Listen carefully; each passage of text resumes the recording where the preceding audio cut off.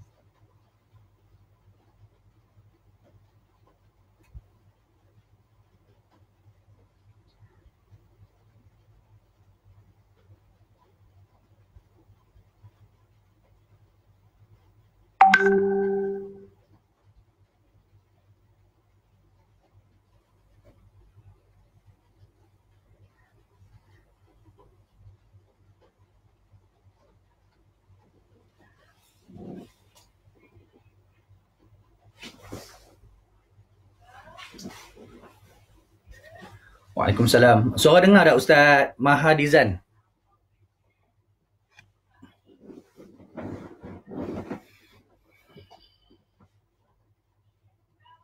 Salam. Dengar suara tak? Komen sikit, saya takut suara tak dengar.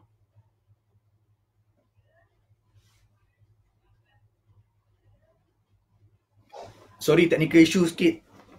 Biasalah orang Android bagi advice kat orang Apple kan. Cik. okay.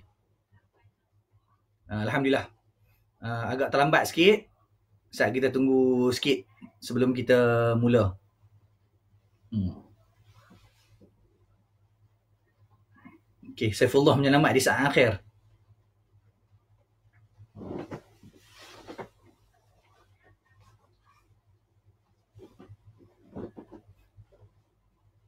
Okay, dah dah makin masuk orang dah.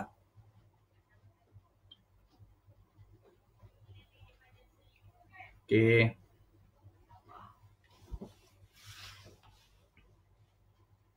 Macam mana saya nak tengok uh, siapa? Okay, okay. Ada kat situ kata 30 30 orang. Hmm. Okay. Alright, Waalaikumsalam. Hmm.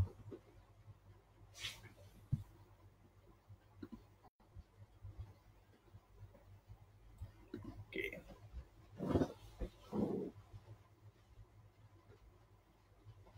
Okay, orang senang masuk.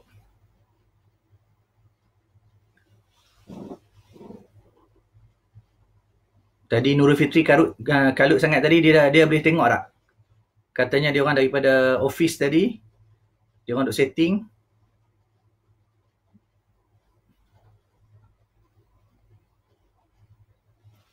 Sini pun hujan ni renyai-renyai. Hopefully tak ganggu suara lah. Untuk sesi live kita pada petang ni.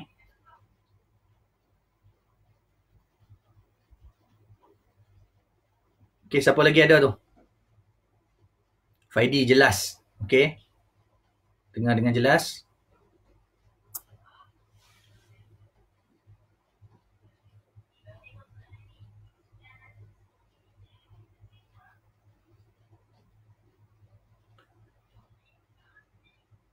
Tadi ada masalah teknikal sedikit. Uh, Alhamdulillah masalah teknikal dah diatasi.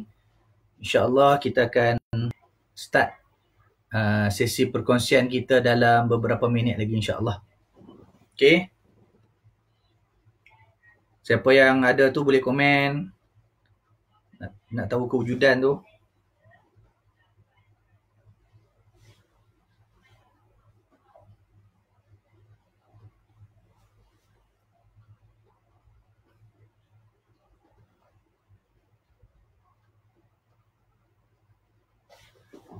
Komen, komen. Ramai komen saya yang tak tolak ke bawah. Masya Allah. Okey. Dengar jelas. Okey jelas. Kuala Lumpur. Clear. Dengar jelas. Dengar jelas. Suara. Jelas. Waalaikumsalam Fadilah. Kelang clear. buku-buku belakang tu kerja sekolah ke, ya kerja sekolah, kita Arab, Quran, ada belakang campur ikut mood nak baca mana. Uh, Solihin, apa khabar orang Kedah Fazrul? Fazrul orang mana? Meja baru, ya dapat hadiah, kerusi pun baru. Nampak tak? Dia panggil kita gamer kot. Okay. Uh, Kirin, Assalamualaikum. Cik Razak, jelas. Imran, salam Ramadan ya. You are Imran. Okay. Uh, Nurul Fitri, dia tak boleh buka live. Okay. Uh, Waalaikumsalam Ramadan Karim uh, Rusia, Azim, kerusi racing, uh, kerusi gamer. Share video buat watch party. Uh, jengka clear Alhamdulillah, super. Kerusi, ya kerusi cantik. Okay. Uh, todak, jelas roda kerusi PUBG. Gunung Semanggu clear. Masya Allah, tabarakallah. Okay. Uh, komen ni dia tak boleh scroll sendiri ke? Kita nak kena tolak baru baru dapat ke? Okay. Hmm. Uh, Cikgu Syamimi, salam Ramadan Karim. Ramadan Karim, Allahu Akram. Kalau Arab, setiap kali kalau dapat ucapan Ramadan Karim, dia akan balas Allahu Akram. Maksudnya Ramadan yang mulia, Allah lah semulia-mulia daripada segala-galanya. Uh, InsyaAllah, Sungai Petani clear.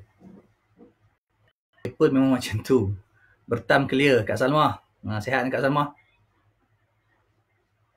Sonok lah dia. Anak ramai Hafiz jadi imam dalam rumah lepas ni. Semua berkat PKP belakang. Okay. Ramadan Karim. Allahu Akram. Okay. Saya rasa saya boleh saya mula-mula kot. InsyaAllah. Okay. Kita start. Sementara sahabat-sahabat kita lain dan join dalam sesi. sesi. Hmm. Oh, Apple tak scroll sendiri. Ni dah, dah auto scroll dah sebab kita maklum kat Siri tadi. Okay. Okey, uh, harap suara jelas. Uh, semua boleh dengar dengan baik. Uh, uh, Bismillahirrahmanirrahim. Assalamualaikum warahmatullahi wabarakatuh. Alhamdulillahi rabbil alamin. Wassalatu wassalamu ala ashrafil anbiya wal mursalin wa ala alihi wa sahbihi ajma'in. Asyhadu an la ilaha illallah wa asyhadu anna Muhammadan abduhu wa rasuluh.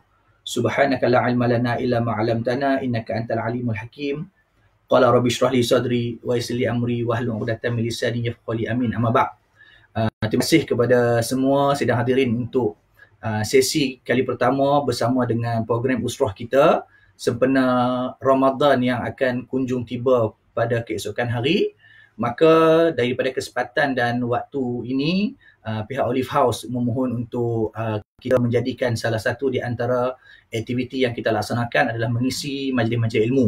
Maka saya bertindak sebagai individu yang pertama, sebagai CEO untuk membuka tirai sebagai satu permulaan dan insyaAllah akan diisi oleh tokoh-tokoh yang lain uh, untuk berkongsi dengan kita semua sepanjang bulan Ramadan yang akan datang.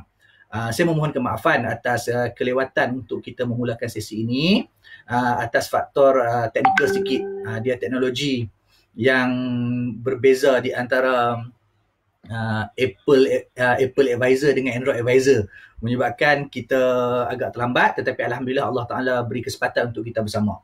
Uh, tuan-tuan, puan-puan, hadirin, hadirat yang dirahmati dan dikasihi Allah sekalian. Uh, dalam kesempatan waktu yang ada yang insya-Allah saya tidak uh, merancang untuk mengambil masa yang panjang, tidak lebih hanya untuk memberi beberapa tip-tips yang mana tips-tips itu merupakan pedoman untuk diri saya dan juga satu perkongsian yang baik kepada diri tuan-tuan dan puan-puan. Kalau sekiranya ia adalah merupakan satu ilmu yang bermanfaat, maka ia akan menjadi faedah kita laksanakan. Kalau sekiranya ia perkara yang telah diketahui oleh tuan-tuan dan puan-puan sekalian, maka insya-Allah uh, dengan perkongsian yang kita kongsikan ini akan memberikan uh, ingatan dan juga mengingatkan kita kembali tentang perkara-perkara yang perlu untuk kita memberi perhatian dalam bulan Ramadan. Dalam kesempatan ini tuan-tuan dan puan-puan, saya ingin untuk memberikan lima tip utama. Apa yang perlu untuk diketahui oleh kita yang beriman kepada hari akhirat. Yang mempercayai wujudnya Allah. Yang mencintai Nabi dan juga Rasul. Yang meyakini tentang hari akhirat dan mengetahui tentang bahawa kehidupan dunia ini merupakan satu persinggahan yang sekejap walau sehebat mana kita di dunia walau seteruk mana kita di dunia hakikat dan realiti kita mempunyai satu kehidupan yang lebih besar dan lebih abadi iaitu adalah pada hari akhirat maka bila kesempatan itu kita yakini secara bersama antara titik-titik noktah yang penting kehidupan bagi seorang mukmin tuan-tuan dan puan-puan adalah bila mana datangnya Ramadan Ramadan ini adalah merupakan satu tetamu dan merupakan satu gedung dan merupakan satu kota yang sangat-sangat penting kepada orang beriman. Untuk memasuki kota yang sangat indah dan hebat ini, kita perlu kepada sedikit bekalan pengetahuan apa yang perlu untuk kita lakukan dan kita akan ulang saban tahun, ulang dan ulang. Apa yang perlu untuk difahami supaya proses transformasi ketika masuknya kita ke dalam bulan Ramadan kita mampu untuk menggarap sebaik mungkin manfaat dan juga apa yang telah disediakan di dalam madrasah Ramadan. Ramadan ini tuan-tuan dan puan-puan, terdapat lima tips yang utama yang inilah merupakan antara nasihat-nasihat yang sering diulang para ulama-ulama kita yang diberikan oleh guru-guru kami, yang dipesan oleh para para masyayikh, yang disebut dalam kitab-kitab yang menjadikan pedoman penting untuk dilaksanakan. Tuan-tuan dan puan-puan, perkara yang pertama bila mana kita memasuki Ramadan, kita sebagai orang beriman kita meletakkan satu niat yang kukuh, jelas dan solid untuk memasuki madrasah Ramadan. Ada di antara manusia ada orang ramai bila dia masuk Ramadan ni dia tak ambil kisah pun. Tetapi bagi orang beriman diajar oleh Nabi SAW apabila masuknya Ramadan kita tanam dengan satu niat yang sebagaimana disabdakan oleh Nabi SAW man sama Ramadan imanan wahtisaban iaitu sesiapa yang berpuasa dalam bulan Ramadan. Tujuan dan maksud kepada pelaksanaan Ramadan tersebut dengan penuh keimanan kerana kita melaksanakan tanggungjawab ini sebagai tanggungjawab mentaati perintah Allah wahtisaban dan tidak kita lakukan kecuali mengharapkan ganjaran itu daripada Allah Subhanahu wa taala ghufiralahu ma taqaddama min dhanbi. Nescayalah balasan kepada dua kriteria yang kita letakkan kepada niat kita ketika mana kita memasuki Ramadan ia membawa kepada result, kepada outcome, kepada hasil yang mana tujuan penting Ramadan itu diberikan kepada kita, diampunkan dosa-dosa yang lalu sepanjang kita hidup. Maka ini adalah perkara yang pertama yang kita sebagai orang beriman, kita meletakkan dan memasakkan niat yang kukuh, kukuh, tegak, yang sangat konkret, yang sangat-sangat kita yakini dan kita fahami sebelum melangkah masuk ke dalam bulan Ramadan. Malam ini, kalau esok Ramadan, satu Ramadan, bermula daripada maghrib adalah merupakan waktu yang kita boleh memulakan niat untuk keesokan berpuasa pada esok hari. Dan pada malam ini juga, kita boleh untuk melaksanakan solat tarawih. Dengan waktu maghrib, itu adalah kalender ataupun time masa yang ditentukan oleh syarak berubahnya hari berubahnya hari dalam Islam ini dia bermula daripada maghrib. Kalau kita ikut kalender tu kita sebut pukul 12 malam. Tetapi dalam kalender Islam, bermulanya hari itu dia bermula daripada waktu maghrib. Setelah maghrib tu dah kira hari lain dah. Jadi kalau kata satu Ramadan itu, bilakah bermulanya satu Ramadan, ia bermula daripada azan maghrib kalau keesokan hari itu adalah merupakan satu Ramadan. Bila masuknya dalam bulan Ramadan, perkara yang paling utama kekalkan di dalam hati dan tanamkan dalam hati perjalanan Ramadan yang aku lalui kali ini adalah demi untuk melaksanakan perintah Allah Subhanahu Wa Taala dan segala perkara yang aku lakukan di dalam proses tarbiyah Ramadan ini tidak lain dan tidak bukan mengharapkan ganjaran daripada Allah Subhanahu Wa Taala. Sebab satu-satunya ibadat yang tidak diberikan satu indikator berapakah ganjaran yang akan dibagi. Dalam banyak-banyak ibadat, dia cukup dia punya uh, orang kata guideline ataupun diberikan uh, nilai-nilai berapakah reward dia akan diberikan. Maksudnya kalau orang tanya semayang duha ni macam mana, ramai ulama boleh jawab. Kalau baca Quran ni berapa ganjaran boleh dijawab. Sebab benda tu disebutkan oleh Nabi satu persatu. Jadi tahu macam seolah-olah uh, salary scale gaji tu Allah Ta'ala dah bagi kepada Nabi, Nabi dah cerita kepada umat, kalau setiap amal ibadat yang dilakukan, ah, inilah dia punya balasan satu persatu. Dapatlah balasan kalau baca Quran pada waktu ini, satu ayat berapa ganjaran dia, zikir berapa ganjaran dia dengan dengan kebaikan dilakukan berapa ganjaran. Satu persatu dinyatakan secara jelas, lengkap semua orang tahu berapa gaji yang akan diperolehi daripada ibadat-ibadat yang telah disyarakkan oleh Allah Subhanahu Wa Taala. Kecuali satu ibadat. Ibadat yang tidak dijelaskan dia punya tangga gaji, tetapi digembar-gemburkan dengan begitu dahsyat bahawa amalan ini merupakan amalan yang sangat-sangat istimewa hanyalah ketika mana kita melaksanakan Ramadan. Bila melaksanakan Ramadan tuan-tuan dan puan-puan, saya berpuasa, tuan-tuan berpuasa, isteri kita berpuasa, anak-anak kita berpuasa, ahli keluarga kita berpuasa. Masing-masing berpuasa.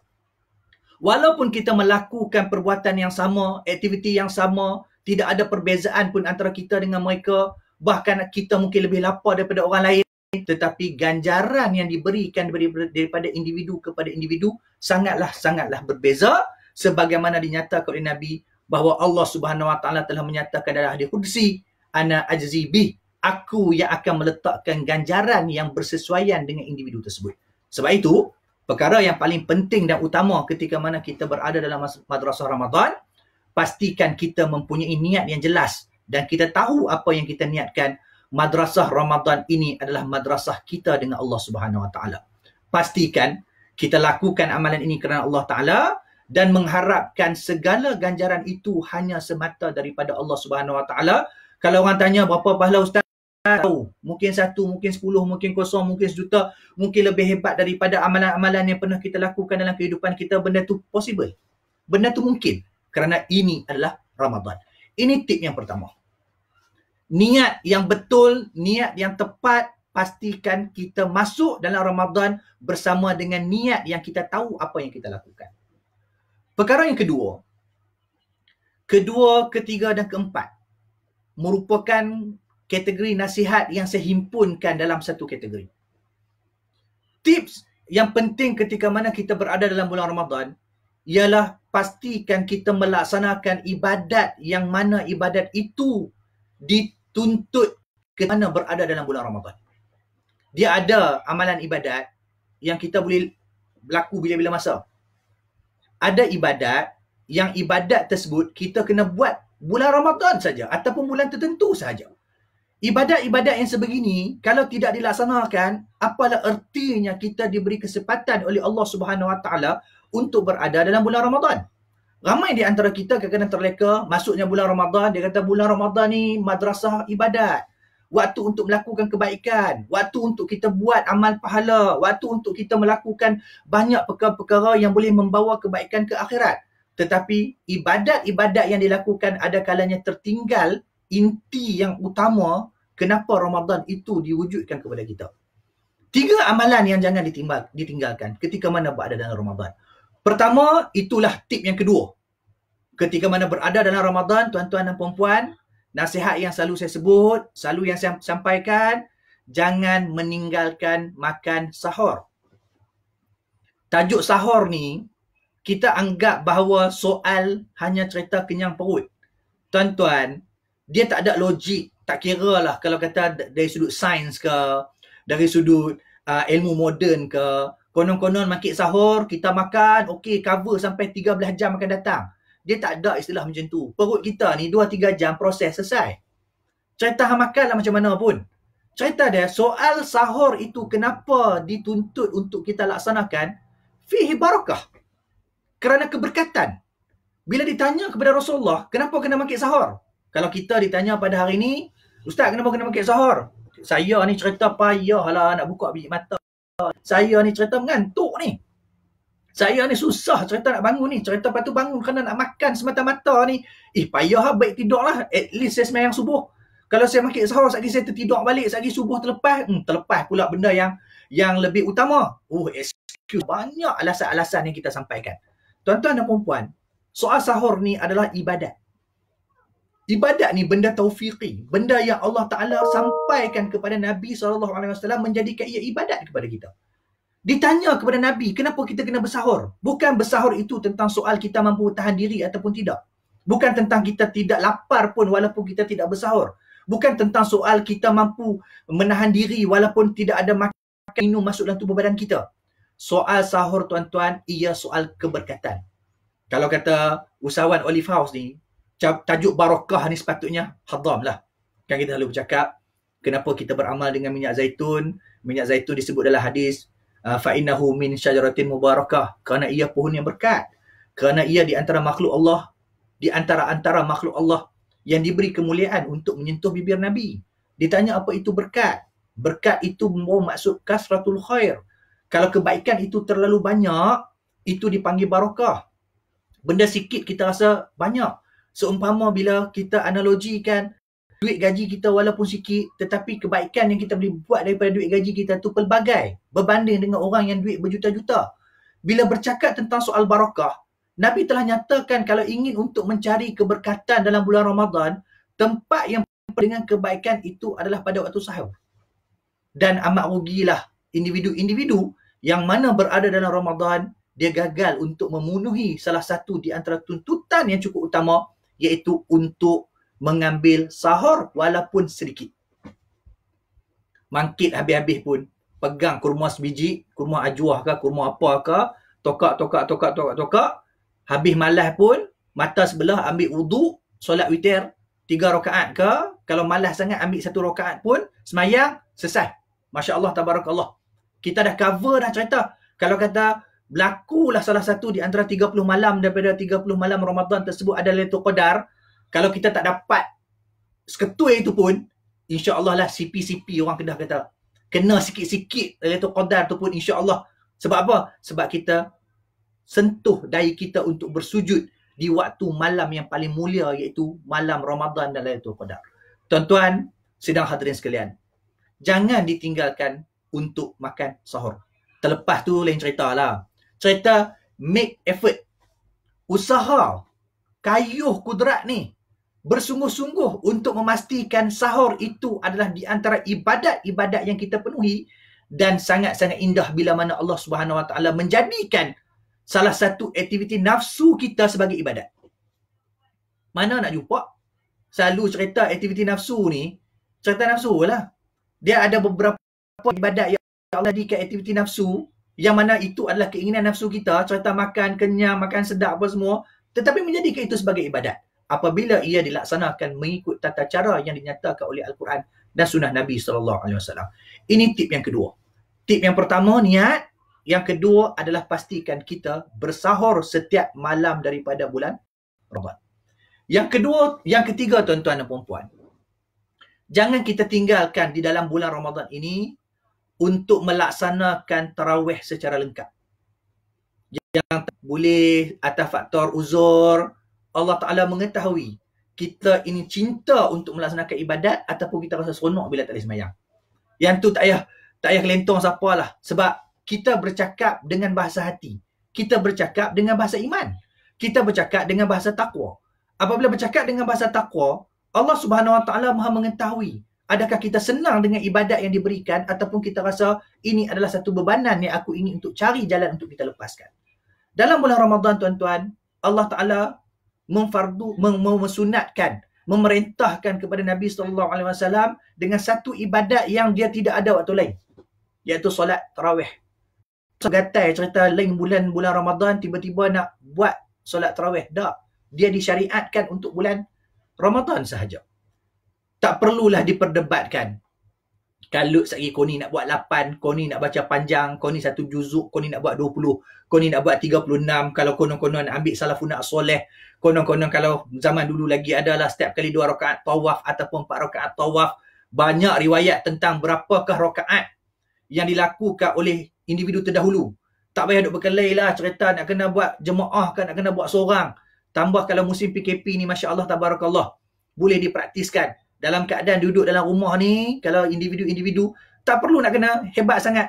Fatihah boleh baca dengan baik surah-surah pendek pun dah ada yang kita hafal rutin. Kalau kita ada anak sulung anak nombor dua dengan sesiapa sahaja boleh untuk berimam bertukar-tukar lakukan aktiviti tersebut sehinggalah lengkap kepada rakaat-rakaat yang kita inginkan. Tetapi apa yang utama jangan sama sekali meninggalkan solat sunat tarawih ketika mana ia berada dalam bulan Ramadan ini tip yang ketiga. Orang yang meninggalkan solat sunat tarawih, dia tak ada dah cerita qadha aku nak keluar bulan Syawal nak buat balik. Tak, tak. Hanya dibagi dalam bulan Ramadan semata-mata. Ini tip yang ketiga. Yang keempat, tuan-tuan, apa yang kita nak nasihatkan? Pastikan di dalam bulan Ramadan kita mengkhatamkan Al-Quran. Kenapa, tuan-tuan? Kerana bulan Ramadan dan Ramadan itu adalah bulan yang diturunkan Al-Quran. Syahrul Ramadan alladhi unzila fil Quran. Kita cerita, hatta kalau kita duduk sesaja ni ingat kalau zaman sebelum PKP, zaman sebelum kena zaman sebelum kena kurung ni. Kereta api merata api sini. Sampai dekat contohlah, oh sampai dekat Kelantan. Oh kita kena makan makanan Kelantan yang paling asli ni. Makanan ni asal Kelantan. Kalau kita pergi ke utara, oh Kedah ni makanan apa yang special? Apa yang makanan lokal dia? Orang tempatan makan makanan tersebut yang tak jumpa ke tempat lain. Kita pergi Johor contohnya ni makan apa? Dan kita akan berebut untuk melakukan pelbagai benda yang menjadi keistimewaan sesuatu tempat untuk memenuhi nafsu kita masing-masing. Dan di dalam bulan Ramadan ini tuan-tuan dan puan kita dah masuk bulan yang Quran itu diturunkan. Yang Jibril bersama Rasulullah bertadarus untuk memperbetulkan bacaan-bacaan daripada waktu ke waktu sehinggalah disampaikan kepada kita dan kepada para sahabat untuk dibacakan dan dihafal. Ramadan adalah waktu kesempatan yang kita perlu usaha untuk mengkatamkan nak mengkatamkan Al-Quran tuan dan puan dia ada dua cara. Terserahlah kalau boleh buat kedua-duanya Masya Allah Tabarakallah. Kalau tak boleh salah satu pun Alhamdulillah. Khatamkan Al-Quran sama ada dengan lidah kita ataupun dengan pendengaran kita. Dua cara kita boleh Al-Quran khatam Al-Quran secara pendengaran jadikan halawa ataupun waktu kesempatan untuk kita mendengar waktu Ramadan tersebut bagi orang Kedah kata bagi lintas telinga ni 30 juzuk kurang-kurang takut nanti kok-kok lah boleh record balik telinga ni agak-agak berapa kali 30 juzuk tu masuk dalam kepala dia. Sebab rhythm tu malaikat ada rakam. Kita tak ingat ada waktu baca surah ni, baca surah baca. Jadikanlah waktu yang kita ada satu keyakinan yang kalau kita bertemu dengan Allah dekat akhirat nanti, ya Allah ya Tuhanku, aku ni akan make sure setahun sekali, ni paling kurang, paling paling lekeh ni. Ada waktu yang telinga aku akan dengar bacaan Al-Quran daripada awal sampai khatam. Tak faham pun. Tapi aku tahu itu adalah dendangan ataupun rhythm adalah bacaan Al-Quran yang sampai ke telinga aku cukup 30 juzuk. Waktu bila yang kita nak boleh buat? Zoom please. Ah, okay. Tadarus di Zoom. Waktu bila kita nak buat? Waktu ni tak macam zaman kami dulu. Kalau zaman Mesir ni nak kami nak kena cari tip lah penuh ni atas atas almari study uh, bacaan Qahtani ke, bacaan Rami ke, bacaan Sudais ke, bacaan Hani Rifai ke, tokoh-tokoh kori dunia ni kira duk rebut nak nak surah mana. Zaman sekarang Masya Allah, Tabarakallah, nak dapat kori mana pun, pilih hak mana kita seronok. Nak surah hak fasih ke, nak surah yang sedap ke, nak yang lanjut ke, nak meruntun ke, nak Mishari Rashid ke, terserah. Yang penting tuan-tuan, bagi nafkah kepada jasad kita, tubuh kita banyak sekali telinga kita ni pernah dengar 30 juzuk Al-Quran. Kalau yang baca mulut ni, insya-Allah lah yang dia baca dengan yang dia dengar ni sekali dah dapat. Tapi kalau kita kurang sangat dah tak mampu untuk buat kedua-duanya dan harapnya itu tidak berlaku, pastikan kita menjadikan dendangan Al-Quran itu dendangan. Saya teringat kadang-kadang masyarakat-masyarakat kita pernah saya ingat ada seorang kakak ni, makcik ni, dia kata dia masa anak dia mengandung, dia kata uh, kakak menyesal buat apa? kat letak tu lagu apa? Mozart, Mozart. Ha, nak pronounce nama dia pun tak tahu. Buh kat perut ni. Nak bagi anak dengar muzik oleh pencipta ataupun genius muzik yang terkenal dekat dunia ni. Dia kata kalau aku tahu bagi anak aku dengar Quran pun bagus. Masya Allah, tabarakallah. Jadi bila benda-benda yang macam ni, tuan-tuan dan puan-puan, kita atok dunia kita di waktu Ramadan ini untuk tunjuk sikit bahawa kita concern menjadikan Allah lebih daripada benda-benda yang pernah kita buat pada waktu sebelum ni. Mudah aja. Kadang-kadang kita pun dengan kawan-kawan kita, atas faktor kita, orang tunjuk concern lebih tu yang kita sayang ke orang. Kadang-kadang uh, tunjuk ambil berat sikit, kata kita bagi perhatian sikit, tunjuk kata kita lebihkan dia sikit. Benda tu pun orang dah cayak dah. Dan bagi kita sebagai hamba ni, masuk Ramadan ni, tolonglah kita usaha sikit, tunjuk kepada Allah Subhanahu Wa Taala yang kita jadikan Ramadan ni, aku nak tunjuk something, aku nak show off sikit ni. Aku nak ambil hati ni ataupun aku nak tunjuk kata aku ni hamba yang nak menunjukkan kata aku nak jadi orang yang disayangi dan dicintai dan diredai oleh Allah Subhanahu Wa Taala. Kita pun tak jangka kata kita ni menjadi hebat sangat. Tetapi dengan concern dan sikap yang macam tu, kita tak tahu doa apa dan rahmat apa yang Allah Taala nak limpahkan kepada kita dan ahli keluarga. Ramadan, tip yang keempat, Al-Quran bagi khatam by hook by crook. Ha, sebab itu kalau tadarus ni, kenapa tadarus tu buat? Sebab kita rasa tak boleh nak kayuh baca 30 juzuk. Contohlah, lenguh dagu ni, cerita nak habis tu juzuk ni pun, ha, penat lah, penat. Orang lain kalau satu juzuk ni mungkin dalam uh, 30 minit, 40 minit, dia boleh dalam bacaan dia lancar.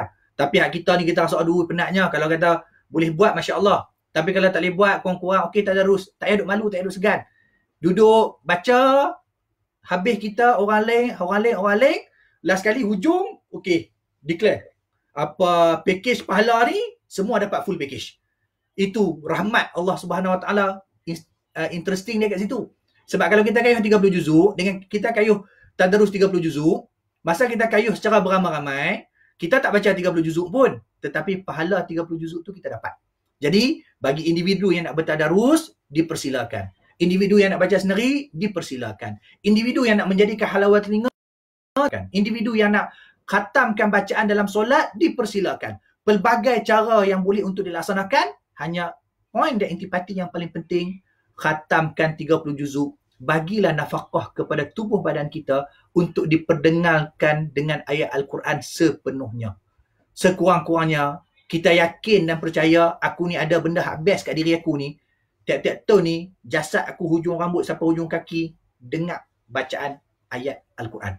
Makhluk ni makhluk-makhluk yang hidup. Makhluk yang yang bernyawa.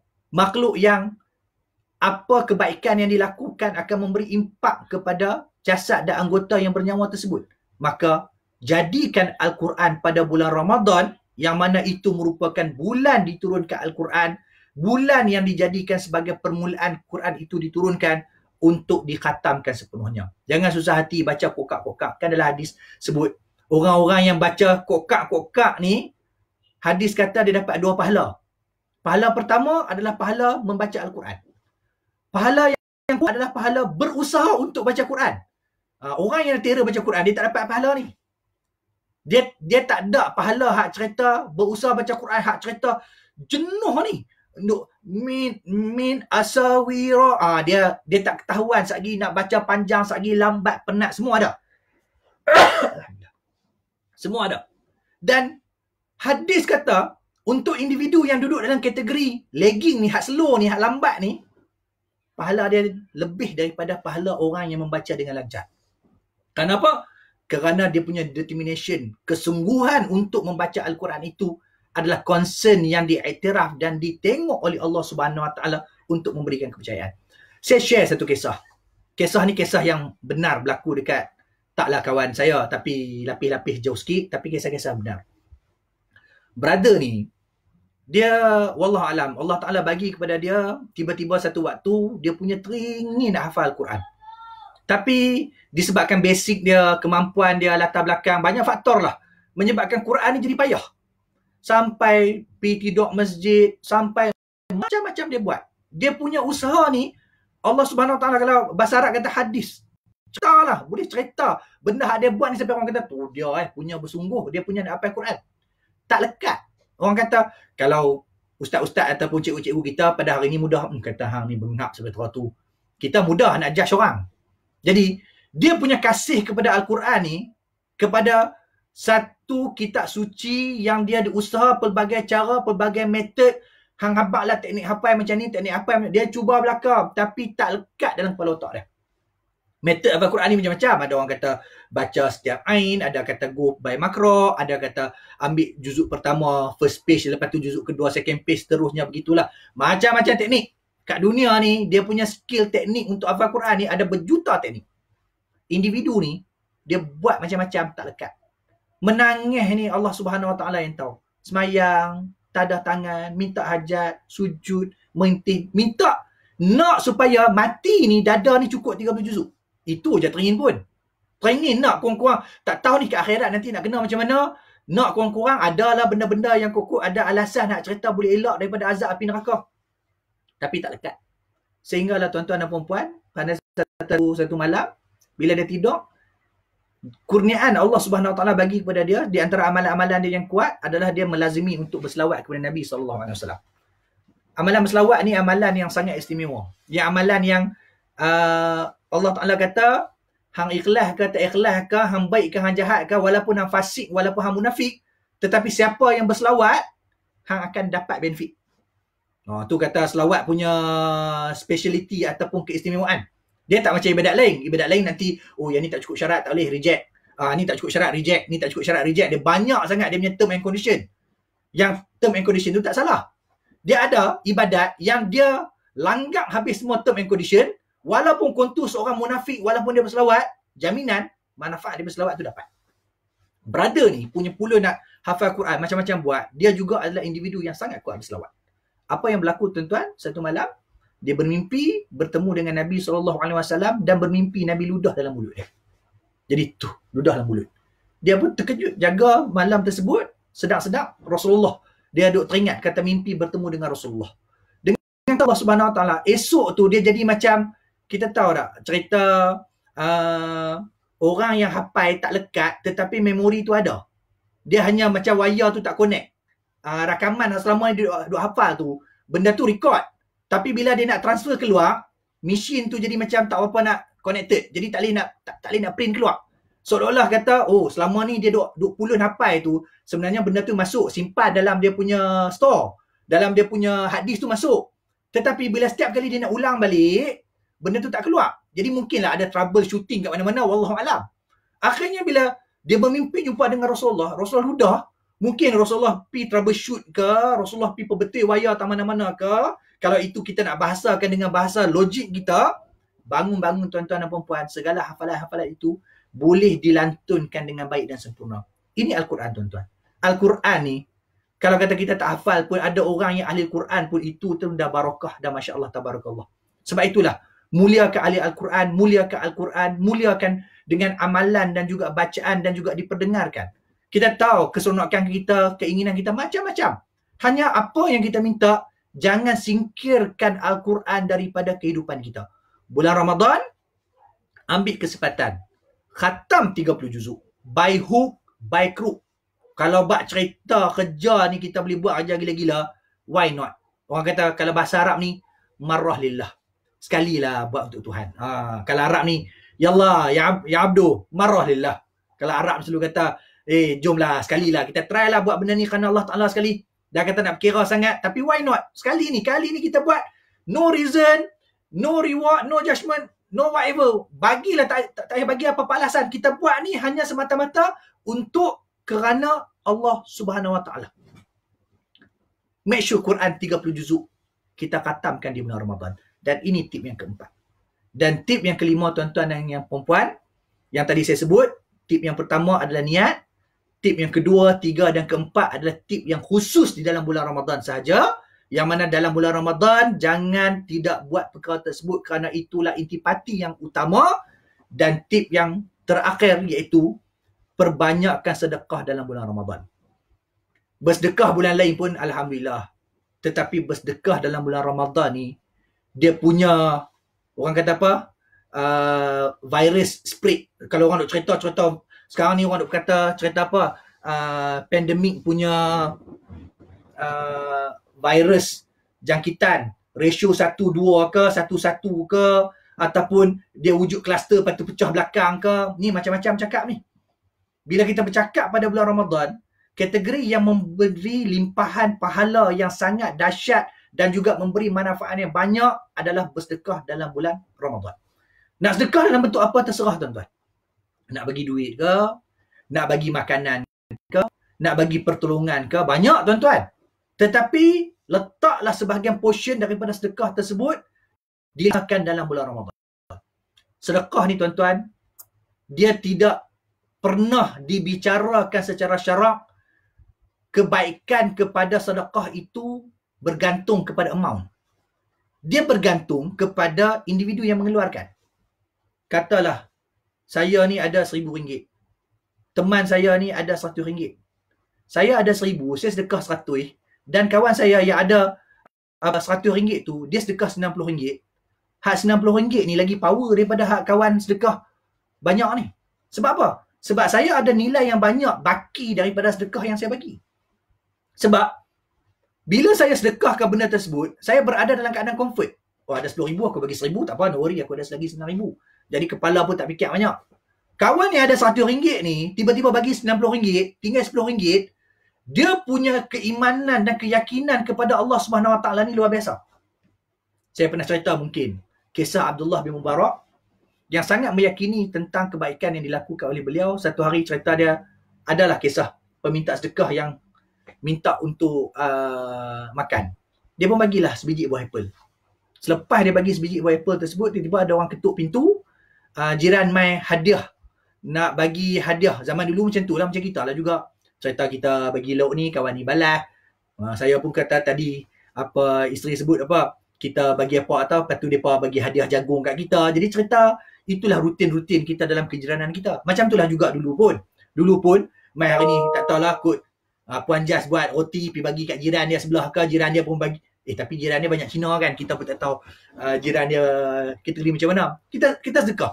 Jadi satu hari bila Abdullah yang Mubarak waktu tersebut ada orang minta untuk bersedekah. Dia pun bagi apple sebiji. Tak lama selepas pada tu, tiba-tiba ada orang ketuk pintu nak bagi sedekah kepada dia. Dan sedekah itu adalah buah apple yang sama. Maksudnya seolah-olah dapat balik lah.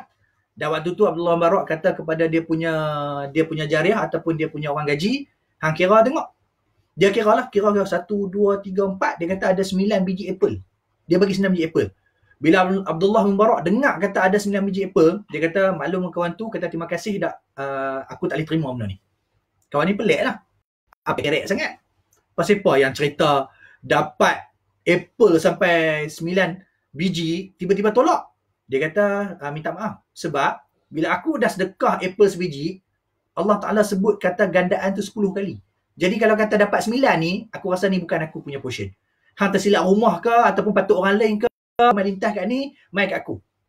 Jadi, bila aku keadaan yang macam tu, apa yang berlaku? Individu yang membawa apple yang untuk dibagi kepada Abdullah bin Barak, dia kata, minta maaf Tuan Syekh, sebenarnya sememangnya diberi 10 biji apple, dia ambil bulan poket dia satu. Ha, ni cerita tuan dia ni, habak kata, ni hampir bagi 10 biji apple bin Barak. Tapi kawan dia fikir, ah, Abdullah Barak kan tahu, tuan aku nak bagi 10 ke 9 kan, dia kan tahu kawan pun cerita puk dalam poket, letak dan dia pun cerita laksanakan benda tersebut. Uh, dan ini adalah merupakan kebaikan-kebaikan daripada amalan yang dilakukan daripada hasil sedekah.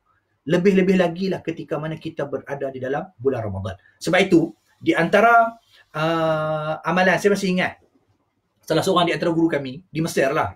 Di Mesir ni, yang tu betul-betul dia jadi turning point dalam kepala otak saya dan dia menjadikan wallahu alam saya rasa uh, antara benda yang dilakukan oleh guru kami waktu tersebut yang menjadikan kita dengan duit ringgit ni bukan kata tak kira jadi tak berapa concern sangat rasa kena belasah dengan satu model yang dilakukan oleh salah, su- salah seorang guru kami saya ada seorang guru di Mesir dia ada satu karakter yang saya suka ikut dia. Setiap kali bulan Ramadan ni saya suka ikut dia. Waktu dia pergi semayang, baca kitab, saya akan baca kitab dalam kaitan dengan dia. Dia pergi ziarah ke ke makam-makam para wali, pergi, uh, ke masjid mana-mana, dia akan tukar masjid setiap masjid. Setiap sekali semayang dia akan tukar masjid yang berbeza-beza, ikut imam, macam-macam lah. Saya akan ikut dia.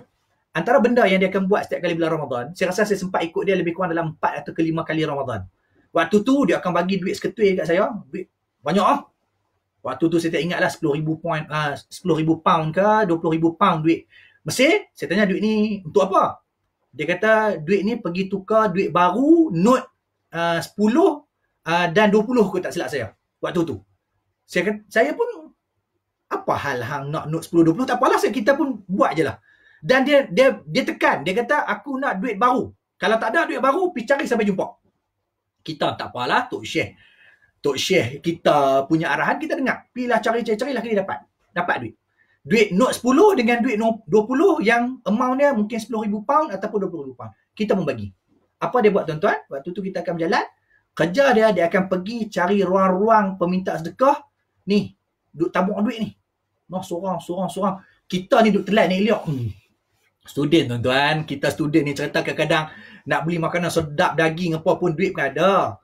Tapi bila kita jumpa Tok Syekh kita, duit ada RM10,000 ni, tabak ni. Oi, cerita kalau tengok cerita Ali Baba, hak kita tengok Piramli tu, ha, macam tu lah. Hak saya ni, cerita tukang pegang duit, hak skupang pun aku tak boleh ambil. Tapi kita duk tengok hak cerita orang duk dapat. Hak kita duk rasa, eh Pak Long ni dengan aku rasa kita sama susah je ni. Tapi kawan ni dapat. Dia bagi, bagi, bagi, bagi. Dan saya tanya, saya kata, siapa yang jadi complicated? Benda pertama yang dia ajak, apabila kita nak memberikan sedekah dan anugerah kepada orang, pastikan dalam bentuk sebaik-baik dan secantik mungkin. Sebab itu dia tak pernah memberikan sedekah kecuali menggunakan duit baru. Ha, tu jadi jadi complicated juga. Saya pun wish yang ni memang short wire habis ni. Kita eh apa beza sedekah?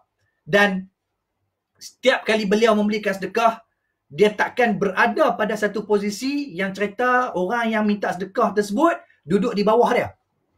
Maksudnya dia takkan bagi macam tu. Dia akan kawan tu duduk tinggi dengan penuh marah bagi. Serah satu persatu. Dan dia akan bagi dalam amount yang sangat besar. Bayang tuan-tuan, kita student dalam keadaan tak ada duit, kena tiga kali, empat kali tengok benda macam tu, koyak kepala otak kali duit ni tak ada nilai dah. Lah kali duit tu tak ada value dah pada kita. Ah, bukan tak ada value. Maksudnya dia tak jadi satu benda cita-cita besar. Sebab apa?